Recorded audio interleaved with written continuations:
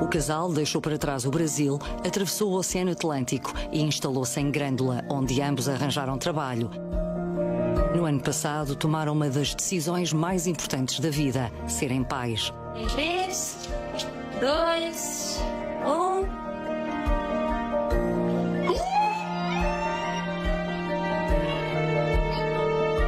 Luz cor-de-rosa acendeu-se na consulta de obstetrícia anunciando a vinda ao mundo de uma menina. O pai escolheu o nome Maria Alice. A madrugada de 25 de junho de 2023 mudou a vida desta família.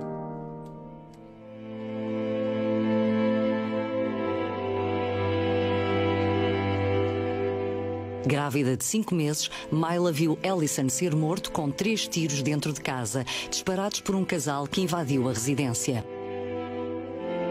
Os suspeitos terão confundido o alvo e Allison terá sido morto por engano. Allison morreu deitado no colo da mulher que carregava na barriga a filha do casal.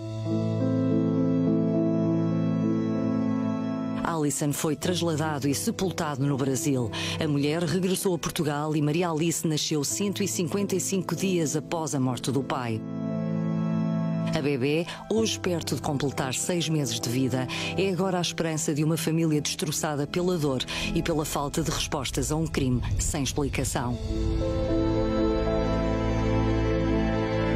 Allison sonhava em ser pai, mas quis o destino que não chegasse a conhecer a filha que ajudou a conceber.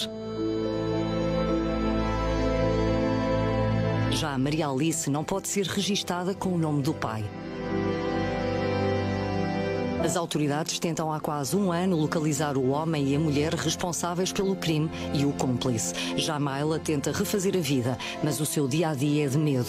Medo daqueles que lhe mataram o marido e que ainda estão em fuga. Medo do futuro. É difícil recordar, claro, este momento. É um momento muito trágico. Grávida de cinco meses. Duas pessoas tinham uma vida pacata, trabalhadores, estavam à espera Essa de uma bebé.